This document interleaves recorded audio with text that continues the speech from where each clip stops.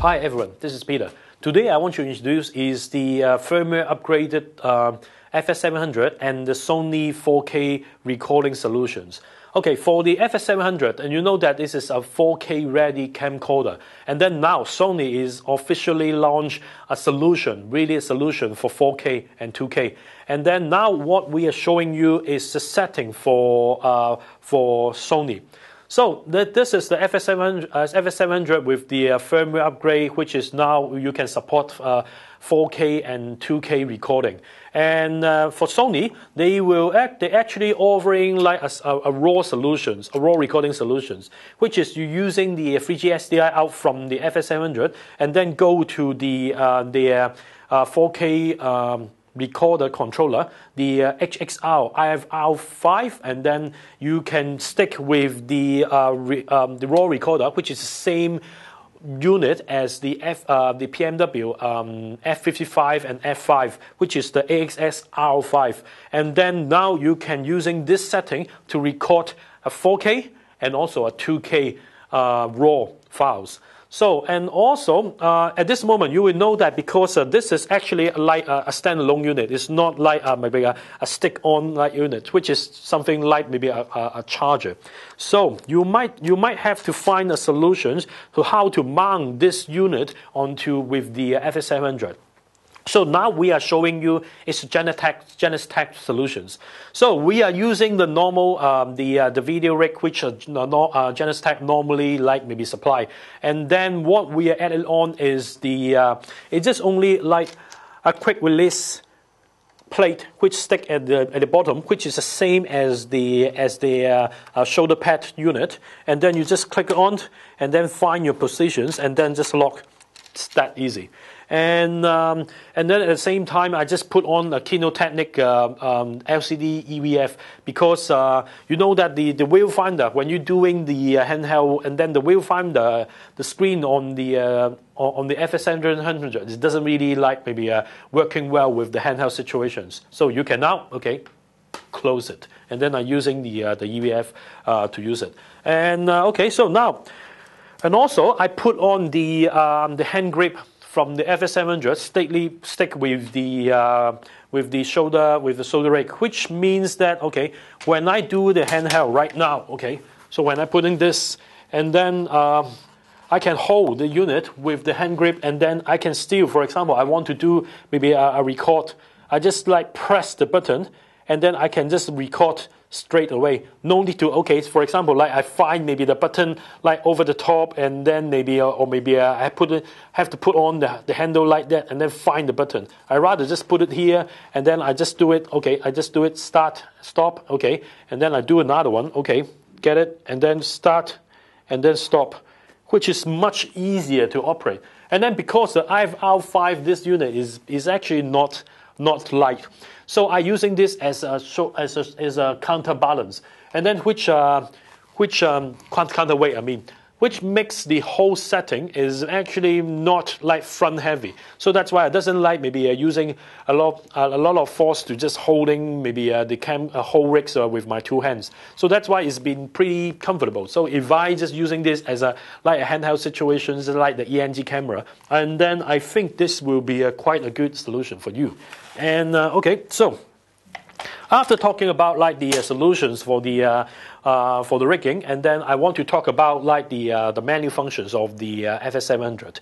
And okay, after you're doing the firmware upgrade, there is actually three parts which maybe you have to be consider, and then maybe it's different than the FS700 original functions before. So, which is the first one I want to talk about is the um, menu. When you go to the menu and then the one that is uh, badly changed is the record set. When we, in the record set, you will find out there is several things changing. First, okay, you can choose whether you record RAW, HD, or SD. Okay, now I definitely record RAW. Okay, And the other thing is the simultaneous recording. This is HD, so that means it's the same as what the original uh, menu from uh, from the FS700. So if you set the HD simultaneous recording on, that means you can record the uh, on SD card at the same time you can record on the uh, on the 128 gigs hard disk, which is um, the uh, also supplied by Sony. And uh, okay, so for the output format, so you can record, for example, like maybe 4K, 2K, and then and for for example, now okay, now I'm setting is 4K, uh, 50p, and then I can set it back to like maybe for example like 2K, like 50p. So when I do press it and then it's execute out and then now okay, I wait for the recorder and then in the recorder it will show that 2K, 50p my time code and also the file name. So it's pretty easy. Make sure, and then this light is not flashing. So it's flashing. That means that he is actually taking the information from the camcorder. So you will see all the information is not shown. That means, okay, you still have to wait maybe the signal get confirmed from the camcorder to the recorder. So make sure that. Otherwise, you cannot record or maybe the function, I, am, I don't know whether maybe that will be corrupted or not. And also the recording control. What is the mean of recording control? If you set RAW and also HD, that means when you press the record button, right, like just like now, and then it will record onto the SD card, and also we will record it onto the RAW. So that means HD will record and also RAW record. I would rec- strongly recommend this because uh, for the solu- uh, for the um, for the RAW solutions, you cannot at this moment this unit cannot get you a 4K um, SDI out to put it onto a 4K monitor. And also, they cannot provide a funnel which is like the FS700. You can just choose maybe whatever shot you want. So that means you have to have like a log sheet to make sure which file name you actually want to see the playback, and then you just choose onto the um, uh, setting, and then you can just find out. So that's why if you want to do a playback, and then I would still strongly recommend to use the uh, FS700. Go to the visual menus, find the shots, playback, and then show to the director or show to whatever you want, and then rather than using the uh, the raw recorder and then uh, just like leave it alone, and then just only for recording. And uh, okay, and also if you want to set this, just like okay, press the uh, the record button, and then your uh, camcorder also be recording. Other than you have to set into the FS700, you also have to set the menu through the recorder. So you go to the menu, make sure you go to the uh, record trigger, and then you set to on. Because if you set to off, that means, okay, even you press the record button and then your setting into the record is actually on, and then it doesn't mean that, okay, it can also link together. So how can I know it's already linked together? in the uh, record controller, and then you will see next to the uh, battery button, uh, battery uh, uh, icon, you will see that is like uh, maybe a Thunderbolt, Thunder logos with like that next to the um, battery logos. That means that okay, the signal is now linked all together. So that means when you press the button onto the FS700, and then it will also record it. Make sure because they have might have like maybe a uh, less than or maybe around a second's like delay and on the start and stop. So when you call rolling or maybe you call actions, make sure to give you like around like maybe a, uh, uh, one or two seconds headroom before maybe you uh, you you you could call you call the, the, command. Okay, and other than that, and then I want to talk about the. Uh, on the menu, there is one function I will just like very strongly recommend is the uh, I will always just set the um, the raw uh, S and Q button into 4K, 2K buttons. For sure, you can just set to 4K and set to 2K. The difference is okay if I press the button first time and then it will jump into 4K, and then you will see the flash button, and then once it's off, and then you will see the information here, and then we'll all jump into the uh, into the uh, 4K 4K settings, and then maybe sometimes it, it takes a little maybe a few seconds to do it like that. Okay, now I mean it's 4K SNQ, 100 frames per second. So that is the setting. For the second time, when I press it, and then I will go to 2K. You know that okay, we all know that like if you're using the FS700 with a system, the fastest you can get for 4K is 100 frame per second. And then for 2K, the fastest is actually 200, but you can set to 100. So that means when you press um, the S and Q longer, and then you will see this button is just jump into just like determine the uh, the frame rate, and then it's the same as uh, the, the uh, previous function on the FS700. You can set to 100 to 200. Okay, so for example, like I set to like for example 100. Press it back, and then now I can start the recording. So I can start the recording, and then it okay, it standby okay it's standby because uh, it's just like maybe calling the uh, the signal that I already changing the the, uh, the speed. So that's why I make sure the all the information is pop up onto the system like this. Okay so now I'm doing the recording. Okay I'm doing now the recording. Okay and then and then stop. Okay so just like that. Okay for example like if I just press back and then it back to normal. If I press like maybe uh, the 4K and then super slow and then it just like get the preparations onto the FS700 at the same time make sure the light is on and then now the setting will be okay come on.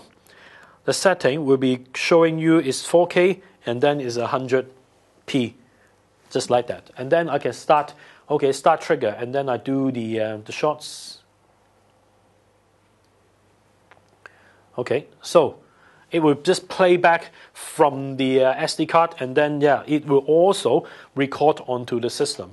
So that is the case on the uh, on the button of 4K 2K and uh, okay one more function is about like the picture profile. Because now okay they can record on 2K and 4K so that means uh, in the picture profile Sony also add on some more options for you. So for example, like if you go to the picture profile, they have already set some function on it, but uh, in the menu they only set like PP1, 2, 3, 4, 5, 6, 7. Okay, it doesn't mean anything. So you can set your own. For example, I want to set maybe a PP1. In the PP1, okay, you go to setting, and then you will see there is actually a gamma. The gamma is actually also the same as the uh, as what the previous version is. But okay, in the gamma, you will find out they have add on like the uh, uh, the ITU uh, 709 and then also 800 and also the S-Log 2.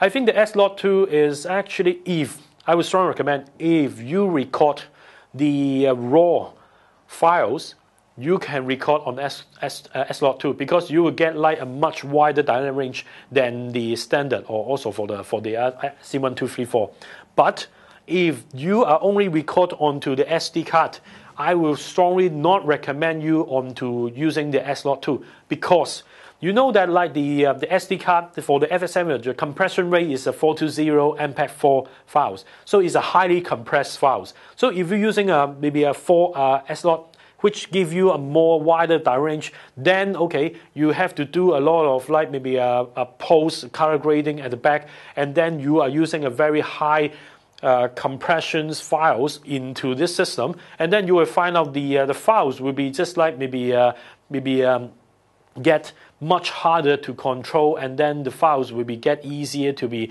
get like maybe uh, corrupted or maybe what is corrupt not is it's just like maybe uh, broken out because you put on so many like maybe layers because you are highly compressed. So that's why I would strongly recommend if you're using the HD only a proxy and then doing the offline edit, fine. If you are actually using this as a real recording without the raw recorder, I would not recommend you to put on the S.2 on it unless you are recording on raw. Okay, so um, this is actually the rough functions on the FS700, which you upgrade the firmware upgrade and then with the uh, raw recorder. So if you want to have more information about this camcorder, please visit A&S website.